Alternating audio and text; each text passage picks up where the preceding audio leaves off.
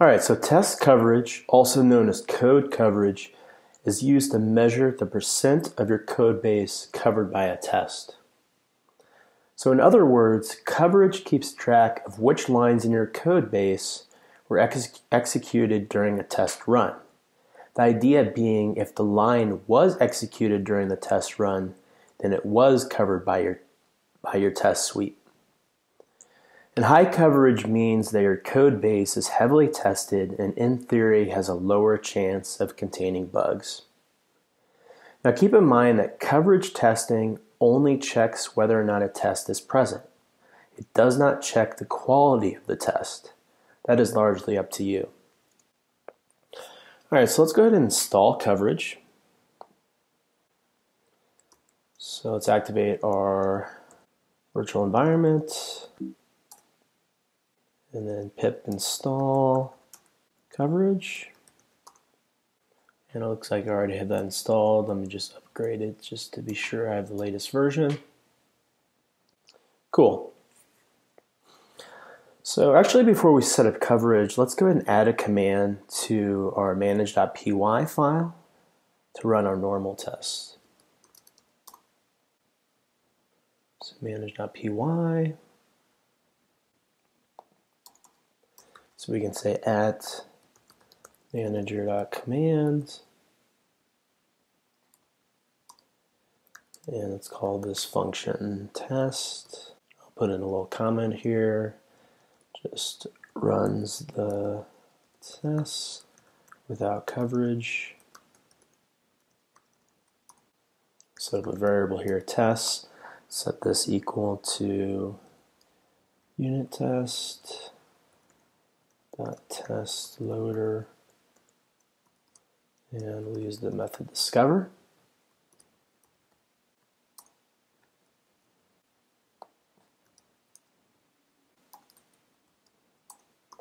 Make sure we import unit test.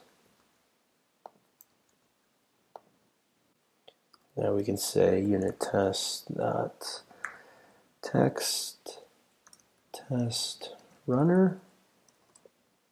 We'll set our verbosity equal to 2, dot run, and then we'll pass in tests. And this is actually unit test. Okay. So here we're using this discover method to search the current directory to basically find methods that begin with the word test. And these are obviously going to come from our test.py file. So even though all of our tests are located in that single file, we will be moving this into a separate module in the future, so this discovery feature will come in handy. And the text test runner is just a basic runner, and we specify a verbosity of 2 to show which tests pass as the test runner is running. And for more on this, be sure to check out the Python unit test documentation and I'll include a link to this within the, the show more section of the uh, YouTube video. Okay, so let's go ahead and run our tests now. So we can say python manage.py and then test.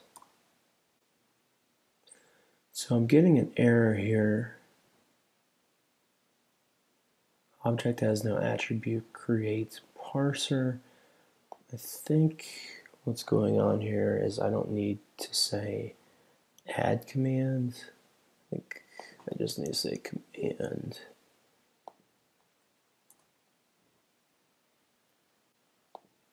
And test loader. The L is capitalized. Okay. All right, so it ran, however, all our tests fail. So why is that?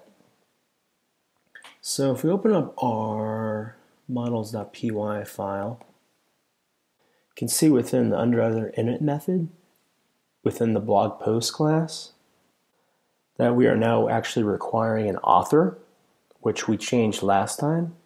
So let's go ahead and update our base test case. So let's move this after we add the user And then there's our author. So let's try running that now.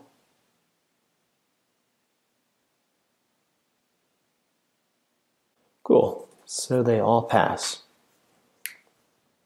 Okay, so with that, let's go ahead and add on coverage. And again, we can add a command to manage.py. Now for the sake of time, I'm just going to grab this code from the repository, discoverflask.com, manage.py,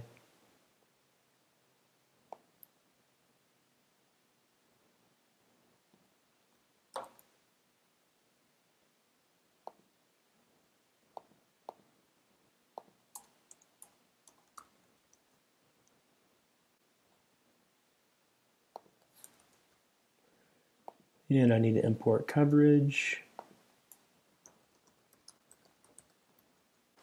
So here we're creating an instance of coverage. And then we start measuring the code with the start method. The tests run like normal.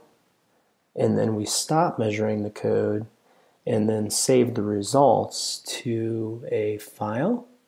And then we also output the results to the screen. And for more on this, be sure to consult the Coverage API.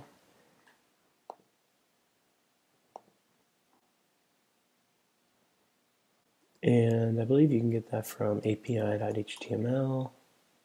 Yeah. Cool. Okay, so let's go ahead and run coverage. So Python manage.py coverage.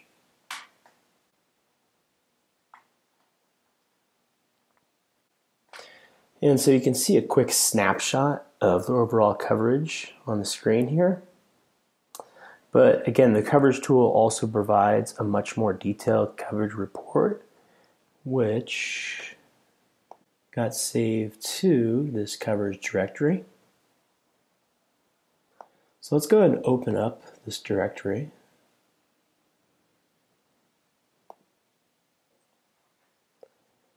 And then open up the uh, index.html file.